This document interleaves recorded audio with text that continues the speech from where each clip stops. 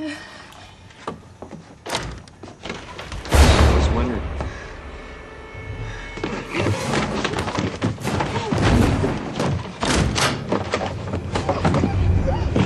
Don't fight me. You're all worked up from being so creative. Hey, Rebecca. You can't just run off like that. A man went in there. Everyone shares the same ones. Here, I'll take you the one closer to your seat. Well, a lady's in there, too. Okay, one of those flights. Here, come on. Please just stop whoever's at my dad's house. I already have by twice intercepting these little communiques. You know, if they'd have fallen into the hands of a by the book stewardess, she'd have gone straight to the cockpit and we'd landed somewhere else. If that happens, Lise, our guy in BMW is gonna know about it. So do Dad a favor and stop gambling with his life.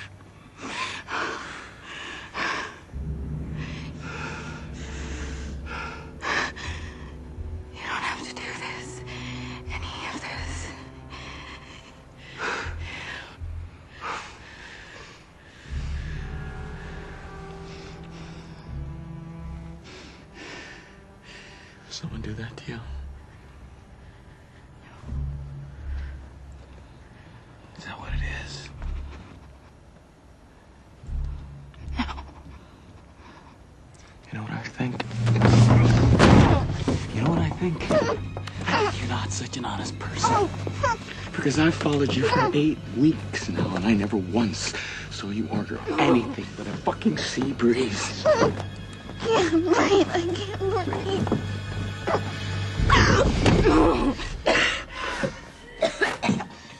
I never lied to you, Lise. You know why? Because it doesn't serve me. We're both professional. We have the will and the means to follow through. When we don't, our customers aren't happy. When they're not, we suffer and our lives go to shit. And that's not going to happen, is it? No. Good. Because I'm going to tell you the phones are working. Are you sure we got a deal this time? Huh? Yes. Peachy. Well, thanks for the quickie.